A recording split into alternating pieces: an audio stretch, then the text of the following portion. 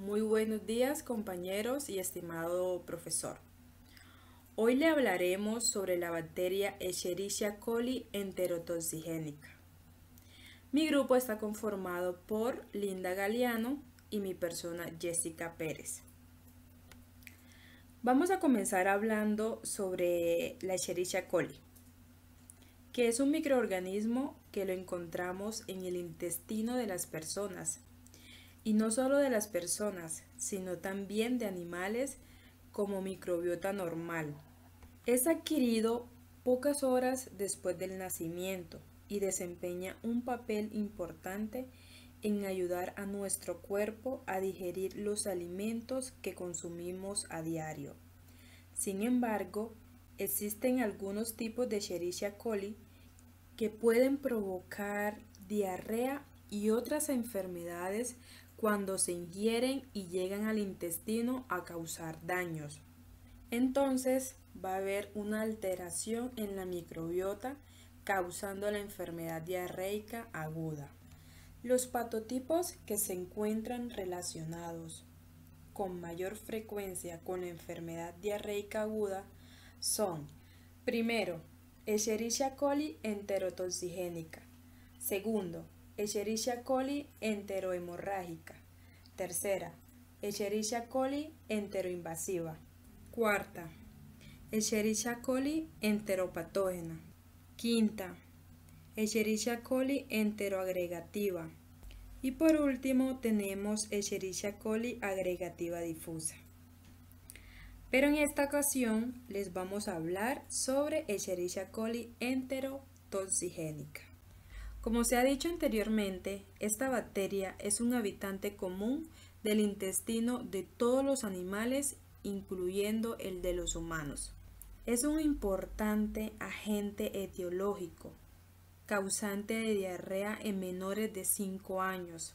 Además, está relacionado con un retraso de crecimiento infantil y es causante de la diarrea del viajero, que es, por ejemplo, cuando una persona visita lugares y adquiere esta bacteria, generando esta enfermedad. Su patogenicidad se basa en la adherencia al epitelio intestinal mediante pili o fimbrias, que se denominan factores de colonización una vez se entra en contacto con alimentos o aguas contaminadas con Escherichia coli.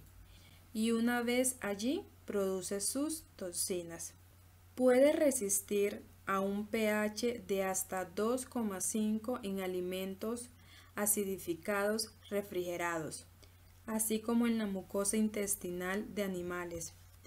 El microorganismo es capaz de sobrevivir por varias semanas, incluso meses en carnes, frutas, helados y yogur congelado a una temperatura de 18 grados centígrados.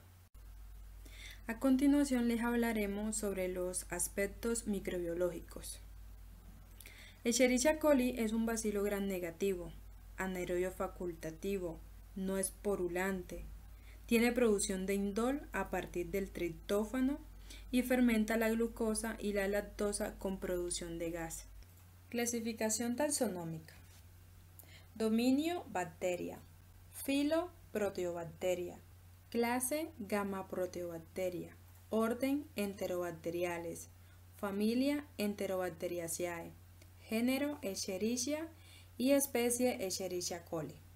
En la imagen podemos observar la estructura antigénica de Escherichia coli, compuesta por un polisacárido O, el antígeno capsular K y el antígeno flagelar H. Entonces, estas estructuras antigénicas nos van a servir además a nosotros porque el antígeno O tiene pruebas de aglutinación para poder serotipificarlo y nos ayude en el diagnóstico. Lo mismo para el antígeno flagelar H. El antígeno K le sirve a la bacteria para que no esté expuesto el polisacárido O y así ayudarle a la bacteria a ocultar este antígeno y por lo tanto no pueda serotipificar. Y así no va a tener un diagnóstico preciso. Entonces, Para Escherichia coli enterotoxigénica, los grupos más comunes que tiene son, primero, el O8H9, segundo, el O15H11, tercero, el O20H, cuarto, el O25H, quinto, el O27H7, sexto, el O78H12, séptimo, el O148H28, octavo, el O159H20, pero el más predominante es el O149. Este es el serotipo más predominante a nivel mundial causante de esta diarrea. Ahora les hablaremos sobre la epidemiología de la Escherichia coli enterotoxigénica. En las enfermedades diarreicas son la segunda causa de morbilidad en niños menores de 5 años, aunque también puede afectar a la población adulta, como anteriormente dicho. Se estima que produce mil millones de casos de diarrea al año. Muy importante saber que esta bacteria afecta principalmente a la población de países en vía de desarrollo, donde causa numerosas muertes por su mal manejo en las aguas y alimentos que se manipulan y por lo tanto hay una alta contaminación por parte del microorganismo así que se adquiere con mucha facilidad. Una vez es ingerido, esta bacteria causa diarrea infantil y lo que se conoce comúnmente la diarrea del viajero. La razón por la cual las infecciones por Escherichia coli enterotoxigénica disminuyen después de la infancia y aumentan en la edad adulta puede deberse tanto a factores ambientales como inmunológicos. Varios estudios han informado que la diarrea de Escherichia coli enterotoxigénica y las infecciones asintomáticas son más frecuentes durante periodos cálidos del año, lo que sugiere que los viajeros a estas regiones también tienen más riesgo de desarrollar infecciones por Escherichia coli enterotoxigénica durante las estaciones cálidas. La enfermedad diarreica causada por Escherichia coli enterotoxigénica, que se reconoció por primera vez, consistió en una enfermedad similar al cólera en adultos y niños. Desde entonces, muchos estudios en todo el mundo han demostrado que la diarrea inducida por Escherichia coli enterotoxigénica puede variar de muy leve a muy grave. Sin embargo, existen portadores asintomáticos a corto plazo de los organismos.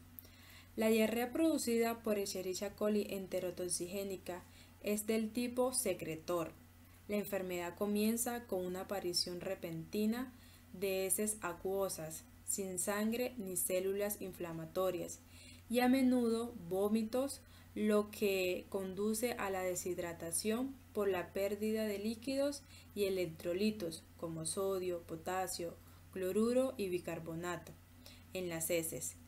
La pérdida de líquidos provoca progresivamente sequedad de la boca, pulso rápido, letargo, disminución de la turgencia de la piel, disminución de la presión arterial, calambres musculares y finalmente shot en formas más graves. El grado de deshidratación se clasifica de leve a grave y esta distinción clínica es importante en la provisión de una terapia adecuada. Los pacientes son afebriles, por lo general la diarrea dura solo de 3 a 4 días y es autolimitada. Si se mantiene la hidratación, los pacientes sobreviven y sin secuelas. Con un tratamiento adecuado, la mortalidad debe ser muy baja. Para adquirir esta bacteria y cause daño, se requiere de una dosis infectiva de 10 a la 8 unidades formadoras de colonias presente en aguas y alimentos contaminados. La Escherichia coli enterotoxigénica no se transmite de persona a persona. Su periodo de incubación solo requiere de dos horas para que empiece a manifestarse los síntomas. Estos síntomas van de 1 a 5 días y donde se va a colonizar es en el intestino delgado y allí ocasiona el daño. En las heces no se va a encontrar la presencia de sangre, moco ni leucocitos en caso de un diagnóstico microscópico. Los síntomas que se presentan una vez se adquiere la bacteria es diarrea acuosa, náuseas, calambres fuertes, puede haber presencia de fiebre pero no es grave y también puede presentarse vómito. Ahora bien, Escherichia coli enterotoxigénica es parte de la microbiota y se vuelve enterotoxigénica cuando adquiere elementos genéticos o mutuaciones que le confieren el funcionamiento de factores de virulencia. Esta bacteria va a causar la enfermedad porque expresa los factores de virulencia específicos que están codificados en plásmidos o en ADN de los bacteriófagos.